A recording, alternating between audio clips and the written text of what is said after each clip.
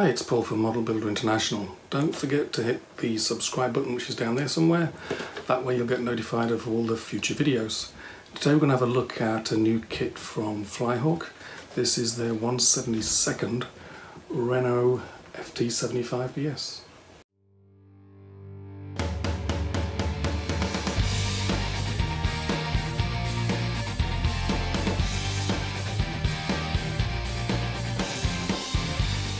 The FT75BS was built on the Renault FT when they realised that uh, the 37mm cannon was just not going to cut it against uh, 45 emplacements, so they stuck a 75mm uh, Schneider, hence BS gun, mounted in there.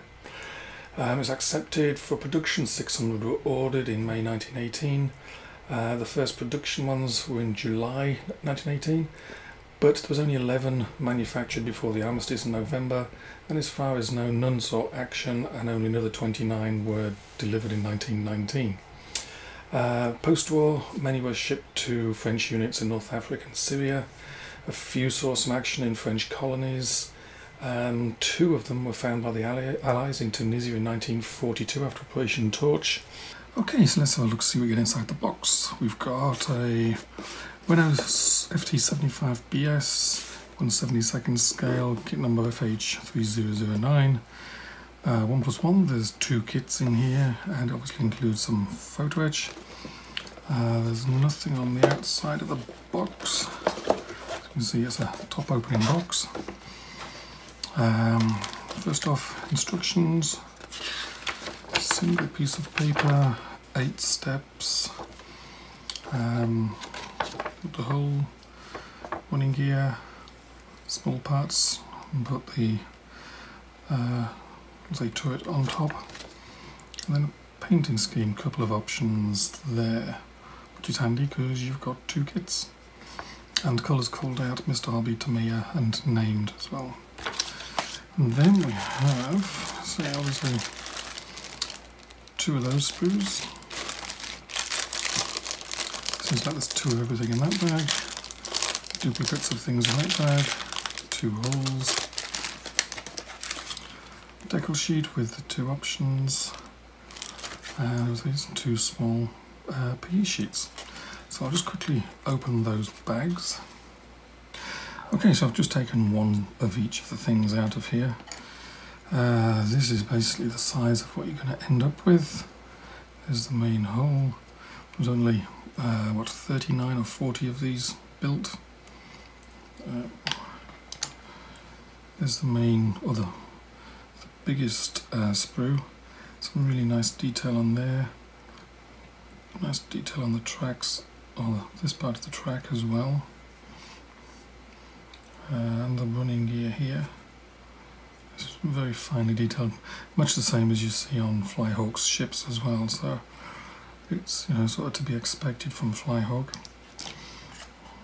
There's the track all in one piece.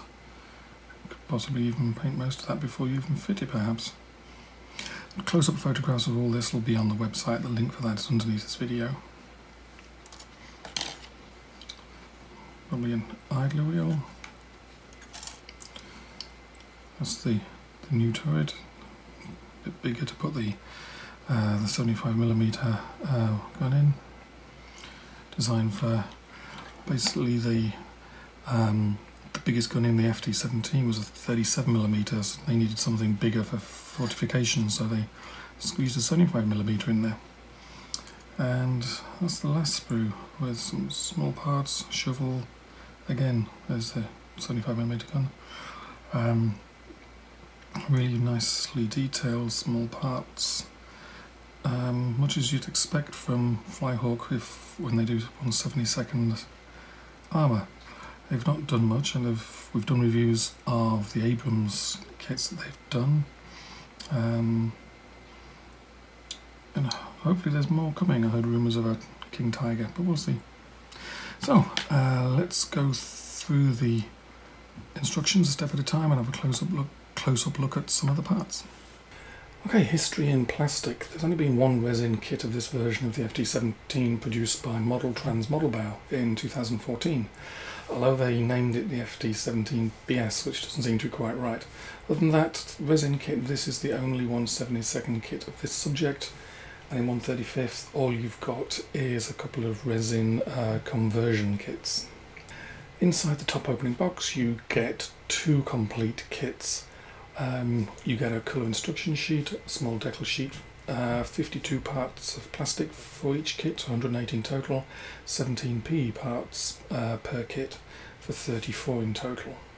Step 1 has you basically building the main hull, uh, just put the bottom on it, um, attach some panels, remove a small piece of plastic from where the turret used to sit and add your first few pieces of photo etch. Steps 2 and 3 are basically the same, one for the left hand running gear, one for the right hand running gear. What they have you do here is um, basically add the idler and the drive wheel and then you also add, it's basically a, an inside part of the track, not part of the track that sort of touches the ground, but basically a part that's underneath the track that helps drive it. And then you add a couple of pieces of photo etch as well. Step 4, you add the, uh, the track to the two pieces of running gear that you've made. Um, basically it just gently slides over the track itself, or the running gear should I say, in the parts you put together.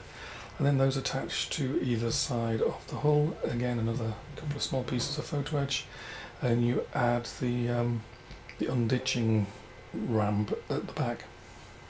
Step 5 is all about adding uh, small parts to the upper sides of the hull uh, stowage boxes supported with uh, photo etch brackets, the exhaust and a shovel. Step 7 and 8. Step 7 has you put the three part 75mm uh, gun together and also fit some uh, panels onto the superstructure. Step 8 has you fit superstructure onto the tank with the gun inside, also add of course a couple more pieces of photo etch. And on the back of the instructions, the painting guide, the colours are called by name, Mr. Hobby Tamiya, and I think Japanese and Chinese as well if you can read those. And there's two painting schemes, which is handy that you've got two kits. Uh, you get a small decal sheet um, for those, they're different colours as well.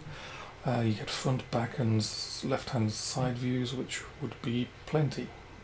So an overall conclusion. It's a really well detailed kit of a relatively obscure vehicle, so it should be of interest to 172nd scaled World War One and World War Two modelers since there's those ones in Tunisia. Um, you can do a nice diorama there with a couple of uh, worn out and battered vehicles in Tunisia. It's also really good value, it's $16 for two kits. I saw that price on eBay. Uh, $16 for two kits, that includes a few pieces of P as well, so that's pretty neat. Um, so overall, it's a very nice little kit, and many thanks to Flyhawk for sending along the kit to for review.